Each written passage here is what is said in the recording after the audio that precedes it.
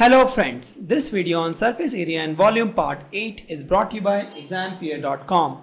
No more fear from exam. Before watching this video, please make sure that you have watched part 1 to part 7. The question says the vessel is in the form of an inverted cone. So this is a cone and this is inverted. It's a vessel in this form. The height is 8 centimeter and the radius is 5 centimeter and it's open. This is hollow here. It is filled with water to the brim. Till this point, we have water is filled. So I'll fill the water, this with water. This is water. Till this point, it is filled out.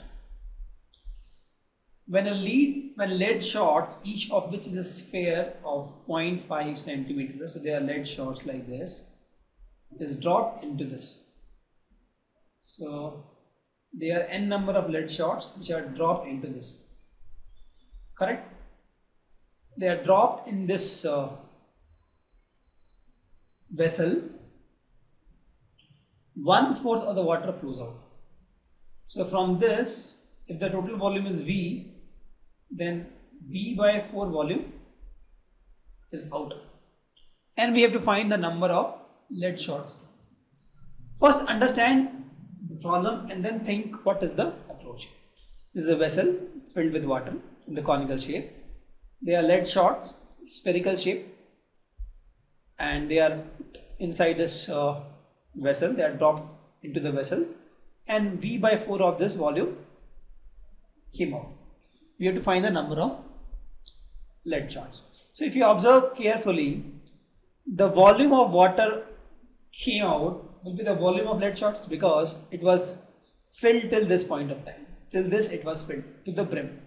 So if you are putting some lead shots and some water is coming out, that means the volume of this lead shots will be the volume of the water that came out.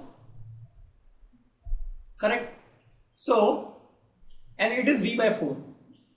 Now, since for this vessel V, the height and the radius is known, we can find the volume of V. If you can find the value, uh, value of V, we can also find the value of V by 4. And we know that V by 4 is nothing but the volume of lead shots. Correct? The total volume of lead shots we know. And volume of each lead shot also we know because the radius is known. The radius is known, we can find volume of each of these lead shots. So, and if there are n number of lead shots, n into the number of uh, n into the volume of one lead shot will be the total volume of the lead shots. Correct? See, that is I'll say n into volume of one lead shot if they are let's suppose n lead shots and that will be equal to volume of water displaced. And that will be nothing but volume of cone by 4 why? See the question says if the volume of the cone is v then v by 4 water displaced correct? This is clear. N number of lead shot into volume of one lead shot. Total number of total volume of the lead shots n lead shot will be equal to total volume of water space? Total volume of lead shot is n into volume of one lead shot. And this is equal to volume of water space and volume of water displaced is nothing but volume of cone by 4 this if you understand this the problem is easy for you the only difficult part in this question is to understand this logic. Why? The volume of the vessel is V. From this you have put some lead shots and V by 4 volume of water came out. The first thing you should understand is the volume, the total volume of lead shots will be equal to total volume of water came out. Total volume of lead shot is nothing but N into volume of one lead shot and this is equal to volume of water displaced and volume of water displaced is volume of cone by 4 correct. So let's solve this question now. First we have to find volume of cone. Let's find this volume of cone first. So volume of cone is nothing but 1 by 3 pi r square h. Correct So if volume of cone is 1 by 3 pi r square h, volume of cone by 4 will be 1 by 3 pi r square by 4. Why I am doing this? Because I have to find this volume of cone by 4. This is my first equation. Second equation says n into volume of one lead shot is equal to this one. So volume of one lead shot is how much? Volume of one lead shot. This will be 4 by 3 by r cube. 4 by 3 pi r cube. And r is nothing but the radius of this lead shot. And for this the radius is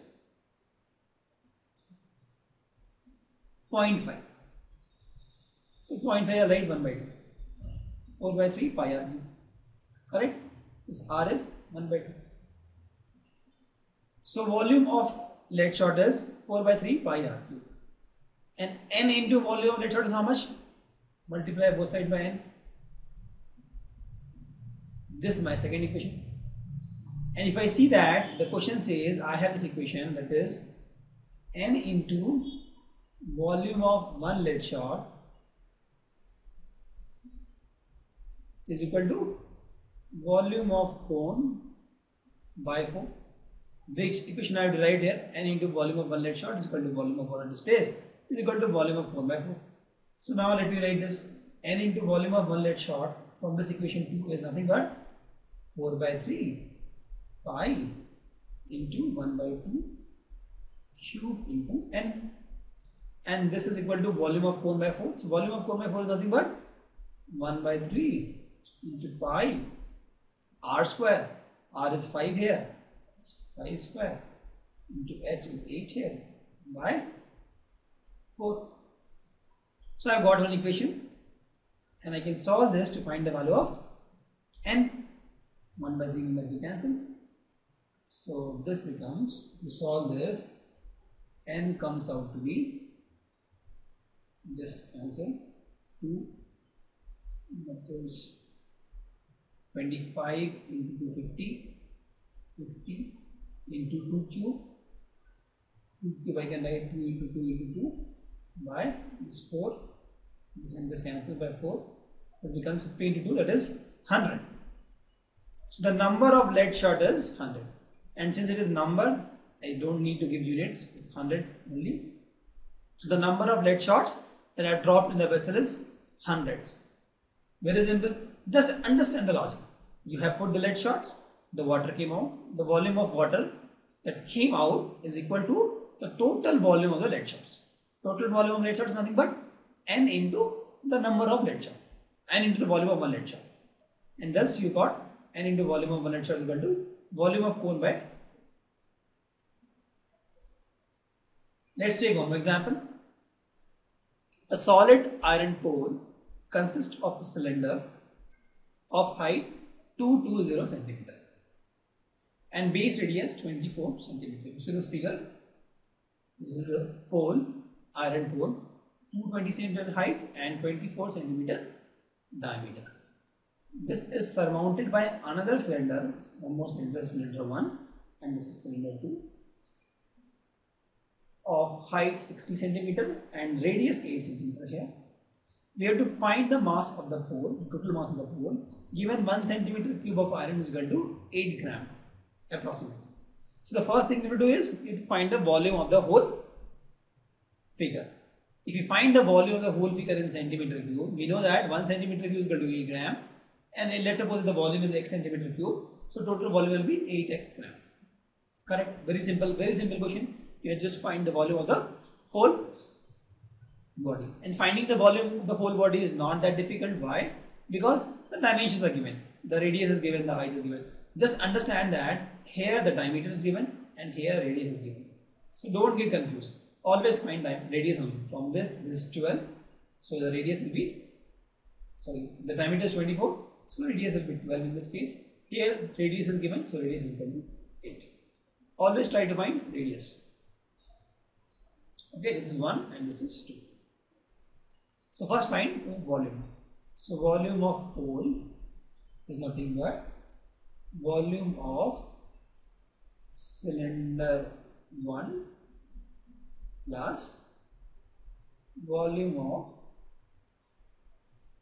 cylinder 2. Volume of cylinder is how much? Pi r square h. So this becomes pi r1 square h1 and this becomes pi r2 square h2. So this becomes pi into r1 is how much? 12. 12 square. And h1 is 220 plus pi into r2 is 8 8 square. And h is 60 so this becomes pi into 144 into 220 plus 64 into 60 to solve this further this becomes pi into 355 4 into 2 8 sorry. The total things if you solve this it comes out to be 1153.2.8 centimeter. This is centimeter. I'm talking about volume centimeter. Correct? You solve this this comes out to be this value. I'm not solving it. It's very easy to solve it. Now the question says mass of 1 centimeter cube of iron is equal to how much? 8 gram. Therefore mass of 111532.8 centimeter cube of iron is equal to 8 into 111532.8 gram. Correct so if you solve this this becomes 892 point sorry 892.262.4 gram Convert into kg, this becomes 892.262 kg. Dividing by 1000, getting from gram to kg. Correct? This is comma and this is dot. So very simple. The first thing we should do is find the volume because 1 centimeter cube is equal to 8 gram. So if we know the volume, we can say that this is equal to x grams. Thank you. Visit examfear.com to watch free educational videos, try free online tests, get the best quality study materials, study from the best tutors and mentors, and much more. Thanks once again.